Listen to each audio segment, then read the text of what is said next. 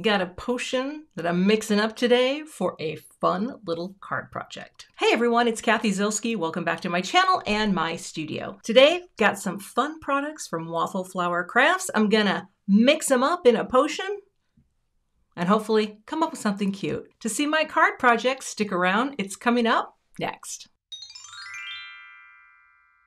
Here's a look at the products I'll be using today, and this is a really funky idea. I'm going to make a potion bottle. These are the dies, but this is the cool part. This is the Love Potion stencil. Now on this stencil, as you can see, there are directions. So we have the highlights, how to do the actual process. It says die cut, two, stencil potion one, three, stencil potion two. So it gives you everything you need on the stencil. So I think that's going to be really fun. There's also a stamp set that goes with this to stamp on some of these greetings, and these will die cut out your little things. So that's very fun.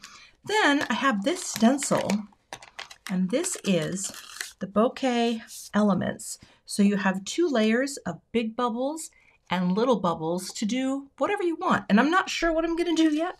I still need to pull some inks, but the first thing I have to do is I'll go ahead and die cut my bottle and then we're going to start adding color and see what shakes out. I've got my grip mat out here, my eight and a half square grip mat, and I'm going to start just focusing on the bottle.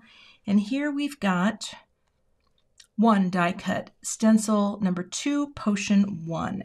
So I'm going to line up, oh, it's very sticky. I'm going to line up my bottle outline right on the die cut, which is nice because you can see you can see right through it like that. And then to mask off, I had cut these little cropping squares. I can't find them to save my life, so I'm just going to take that and press it down. This is just a piece from one of my other grip mats. All right, I'm gonna do the first color. I'm gonna use some Concord and Ninth colors today. And the first color I'm gonna add to my potion is a little pink lemonade. It's a really light, soft color, and I think this will be nice. I'm probably gonna keep this much more monochromatic. All right, let's get you in here. I'll just blend that on.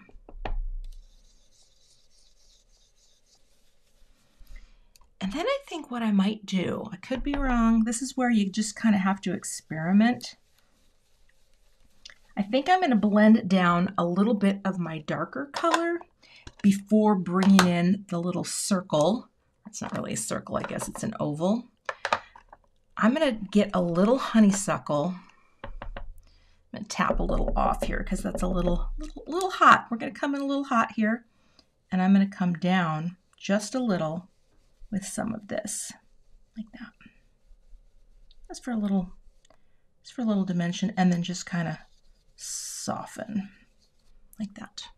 So just a little extra. Then take this, and I'm going to bring in the number two. Is that what it is? Like that. That looks good. I'm going to cover this up again to protect that. And then I'll bring this in darker right here. Yep, I think that's going to be great. So you're going to get a little more of this deep color and then it's kind of drifting down. Down. down. Kind of blend it over a little. Just create create a little a little surface there. Who doesn't love a nice hot pink liquid, right? I would take it no problem. All right, let's lift that up and see. So you can kind of see how it has a little bit coming down. Not much. All right, let me wipe this off. I'm just using rubbing alcohol with this. It's really nice for cleaning because when you use it, and I just keep it in this little bottle, learned about this from my friend Carissa, who is has all the pretty things, and keep it in a little bottle and the nice thing is when you wipe things off with alcohol, they dry instantly. so there's no wetness that you're bringing back to your project. All right, so now let's see. Highlight is the last step, but I am going to do some of that in pink as well. So let's come over here and do, again, I just got to line this up. I think I'm close enough here, maybe a little off in the bottom, but you know what? I think we're going to be fine. I'm going to do the honeysuckle down here too, and I'll just blend this on. Bring it on up. I have to hold that down so it doesn't pop up. Okay. Do a little shadowing too, you know, where you just sort of get it a little darker on one side. Holding that in place. Just to create a little glowiness. Now, it does say here there are highlights, but what I want to do is I want to fill in a little more of my bottle. Uh, I want that to be pink. Okay, and now it's time to go back to, well, I guess I could take whatever's on the brush, but right now I think I want to come back to this. I'm going to mask this off just for a second because I'm not sure how I'm going to handle this one, but I need to clean this brush off like that. Works great. Now I can come back in and just bring in this lighter pink like that, right there. And actually, I think while I'm here, I will also do that. On. I'm on a little here, but I'm going to say we're going to pop that there too. Like that. Coming down overlapping a little. Now it says white ink, but I don't know if I'm going to do that until until I get to. I want to make sure that it's right here. I might do some white ink over these. All right, drop you right on there. I got to shift it a little because I want it to line up right on the bottle. Oh, I guess it can come out of the bottle a little like that. Okay. I guess go like that. Okay. All right. What I think I'm going to do actually is get this back over here because I want there to be more of a separation between, I want that to stand out more as the honeysuckle. And then I'm going to bring in some bubbles in white pigment ink. Let's go like this. I want that to be darker all the way across. Yep.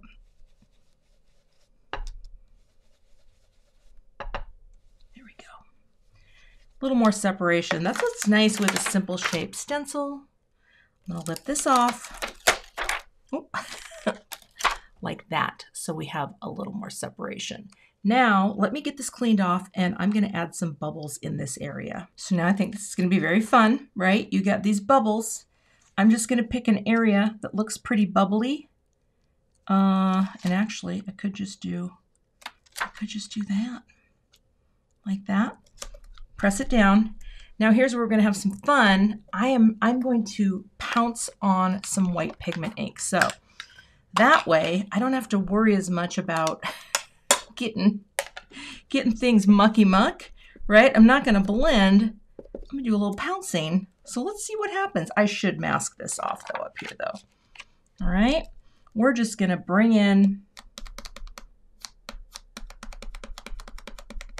some bubbles with this stencil.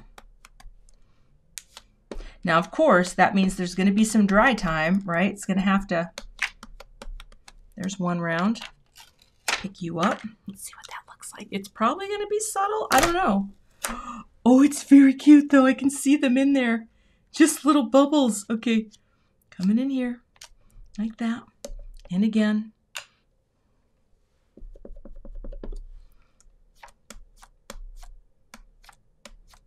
It might not show up that much right now. Oh, but I can see them in there. oh, you can see, you can totally see them. This is so cute. Oh my gosh. All of a sudden, it starts to look like bubbly potion. And I think that is very, very, very fun. pouncing and pouncing, pouncing. And look, nothing really comes off on the pouncer. I think that's super fun. So now we have a few little bubbles in there. Now, if I had gone darker, I think with my potion, it might look a little more bubbly, but I'm gonna go wash this off in the sink because that is too much ink to just, uh, how you say, use uh, alcohol on it. Hold tight. All right, let's lift this up and then we'll move on to the bottle top. It's so cute. It's very subtle. I kind of wish I would have gone a little darker now, but you can see when we hit the light, the little bubbles. Isn't that cute? Okay, setting you aside. I'm going to use a little spray alcohol just to get that pigment off because that's not very much. That'll wipe right off and dry right away. We have to move on to doing the bottle, the little little corker. Look how cute that is. It's just so tiny. Press you down, right? And let's see what numbers we have here. We have uh, just a couple. So I guess here we'll come in like that. And I guess for this, um, would I do lighter or darker? I guess it doesn't really. You know what? I'm just to see what's on my brush. Let's see what's on the brush. Let's see how it looks. It's a great way to clean your brush. Just what's on the brush, you know? Because I really did want to just do this sort of in a two-toned sort of way. Come over here. And this one, I will clean my brush just to go a little lighter. Like that. Keep it light.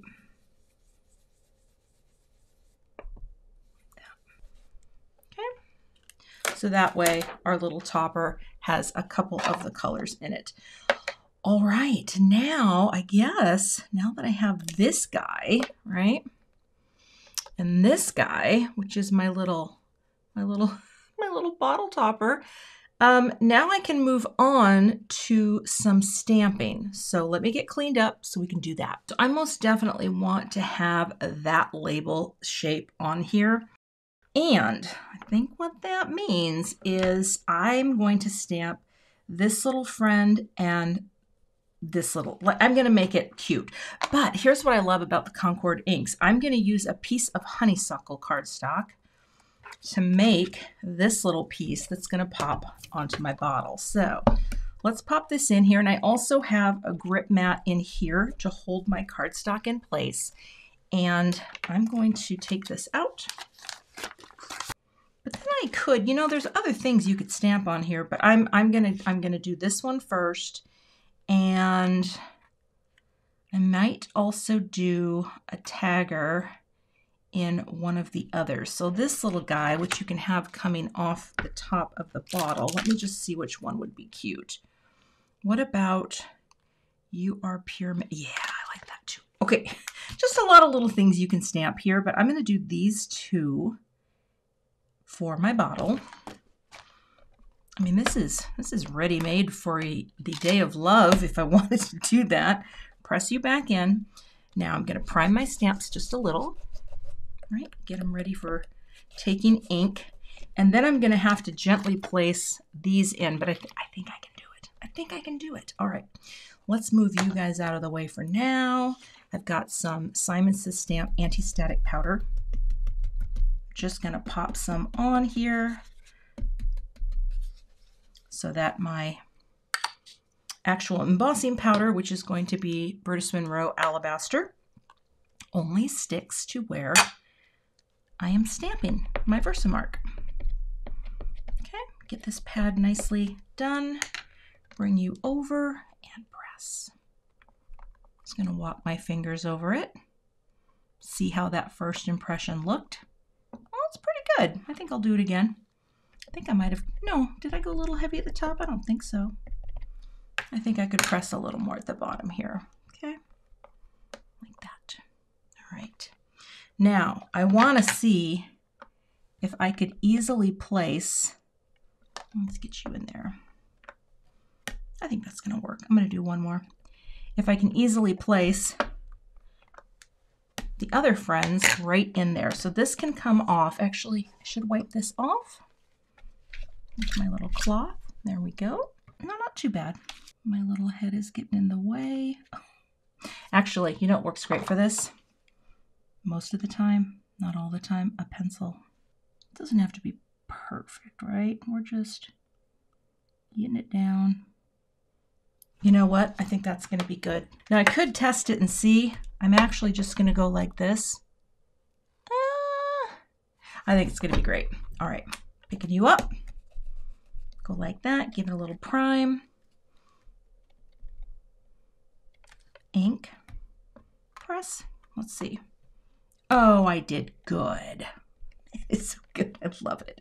Okay, but I'm not pressing too hard, right? I don't want to smush it out. But now I'm to grab my little folded piece of copy paper. Right, take this out. Grab my little clothespin and let's sprinkle on our white powder. Now I have been handling this paper a bit. I hope it doesn't stick too much. Oh, no, that looks pretty good. I only have a couple areas that I need to dust off. Okay, I'm gonna sneeze, not in the powder. Oh my, okay.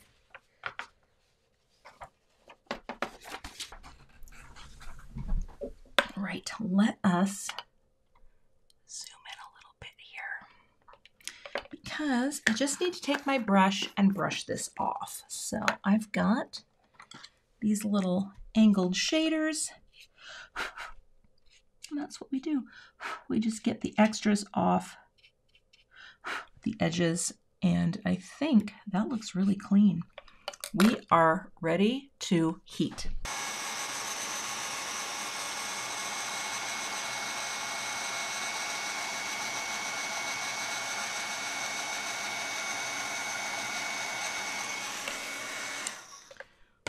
Gosh, that is so cute. Oh, stand up there, little guy.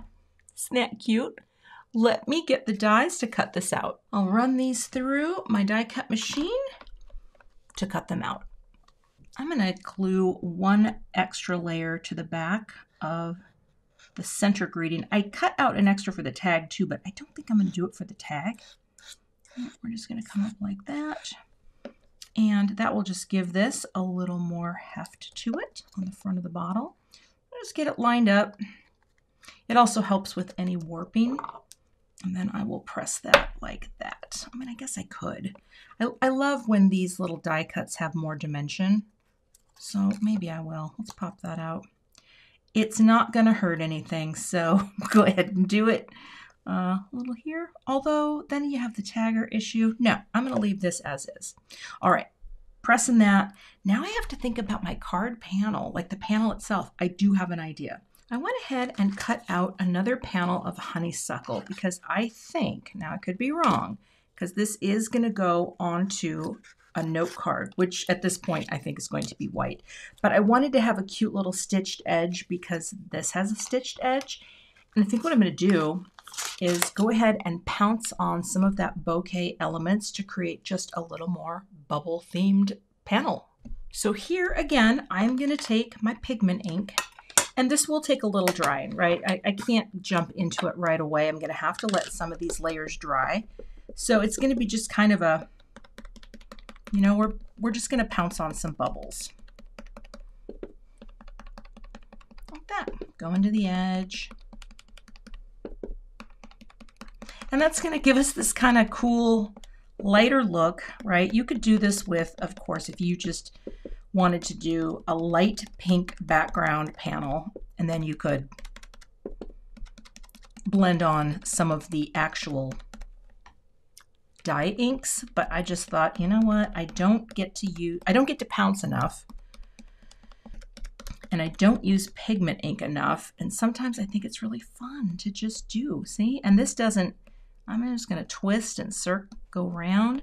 And then I'm going to let it dry, of course, because I want to come in with this as well to add a few more bubbles.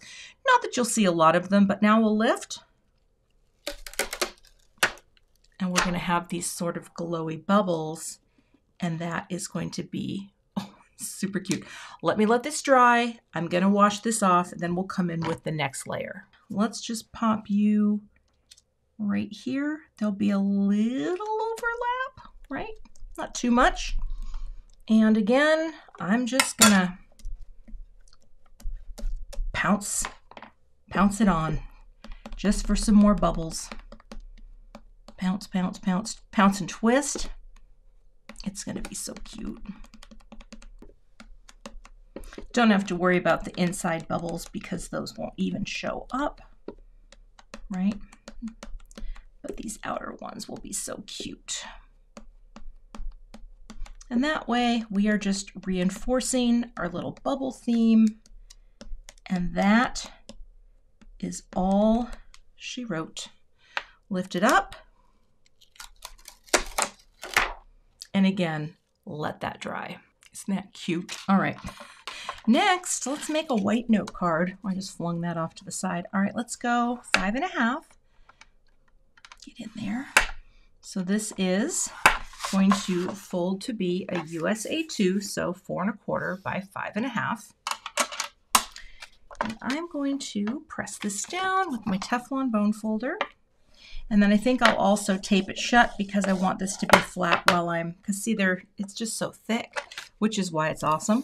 But for my purposes here, and I actually think, I don't know why, but I feel like I may just glue this directly to the base instead of popping it up because I'm going to have other things happening. So let me grab some tape runner. I think this is mostly dry. You know, pigment ink takes a few, so I'm actually going to put this on a piece of paper. Actually have a scrap panel. This is actually lightweight cardstock because I want to make sure that I can get my tape runner on here. without mucking up whether it's dry or not. It takes time, it takes a while to dry, but that will keep it nice and flat. Pressing you down, basically like that, right? Yeah, that looks good. I'll just do that. That way if there's any that's not dry, but that's gonna be great. All right, now I will get some foam squares. Three and four. And I may take, let's see, do I want to see if I can squeeze this in? Does that pop? Yeah, it does pop in. I do want this to be inside, right, holding the bottle stopper like that. So I'm actually to flip this, take a bit of pink tape. See, that way if the pink comes through, it doesn't really matter, right? No one's going to notice because that is going to go right of the panel so cute. And that way too, I can take uh, this little piece and pop it here. And then I think I'll do one in the middle. But I, I want to show you something because I do have even more pink. See, this is very monochromatic. Of course, you could do something like this, you know, with other things. But I have this kind of old, I'm, I'm not sure how old, but it's pretty old. I have this baker's twine in various pinks. This is a pack from Doodlebug, and I'm not sure if I can source it, and I don't know which pink I want to do. I mean, I could go with the darker pink. I could go, this pink actually looks like uh, Concord and Ninth Sweet Pea, but I think what I'll do, let's see what this looks like first. cut you that. And I think I'm just going to wrap it a couple times around the bottleneck now, this is not my super strong skill set, but I think we're going to make it work. So, go like that. Go like that. That might not have enough contrast, but we'll see. Coming around, coming around like that. There we go. I just want it to stay there. Don't don't move. Okay, maybe what I need to do is tie this on first. Okay.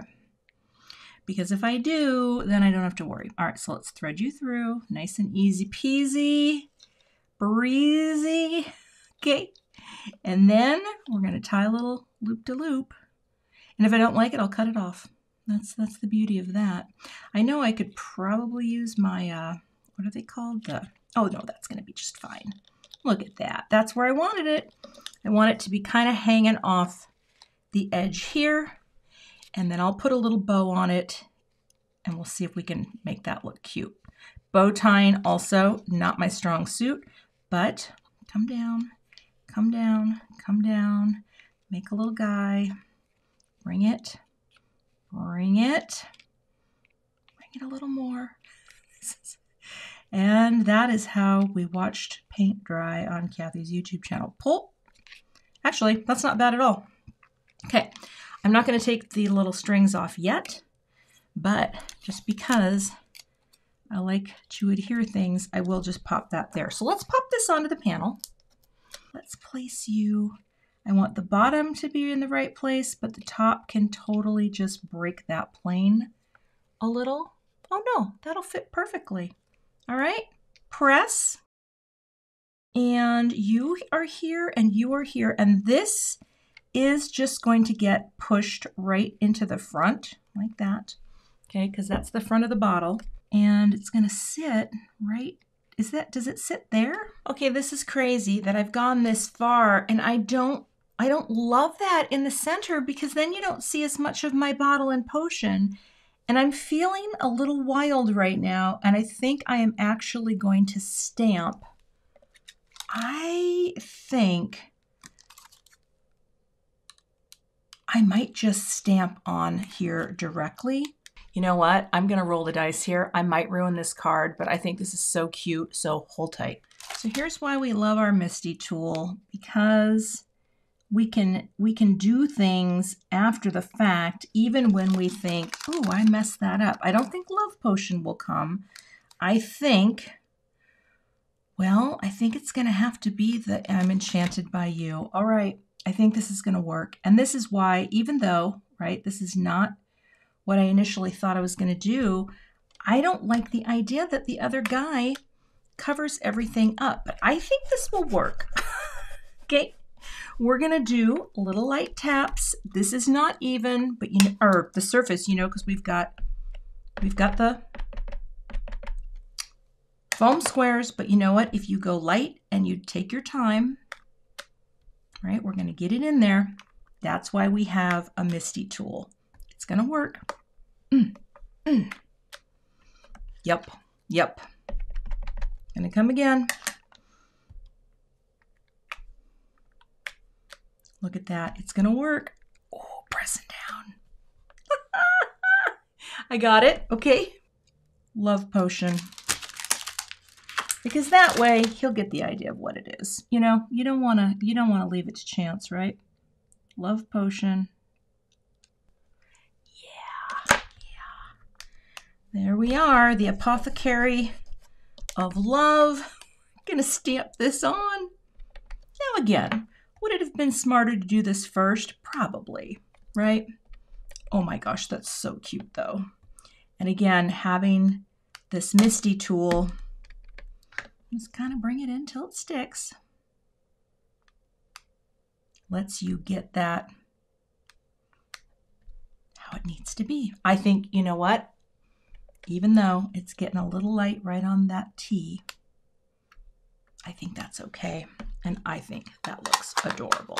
All right, let's trim off our ribbon. Take a look at our finished card. I'm gonna do one tail like that maybe, and maybe one tail a little shorter. I'm terrible with the tails and the ribbons. Um, and actually, I bet that could be a little shorter too. There we go. Get your bow like that. And that is my finished card project. So it's very monochromatic, right? It's very sweet. I have never done something quite this uh, layered and with all this kind of fun. But I love that when you tilt the card, you can see the bubbles inside as well. And that, my friends, that is designed to ensnare any potential love interest. You can find links to all of the products I used today in the YouTube description box. If you're not a subscriber to my channel, I'd love to have you, so hit that subscribe button and be sure to hit the notification bell so that you don't miss the next time I post. Thanks so much for watching and have a great day. To see more fun card ideas using Waffle Flower products, check out the two thumbnails I have linked below, and I'll see you in those videos.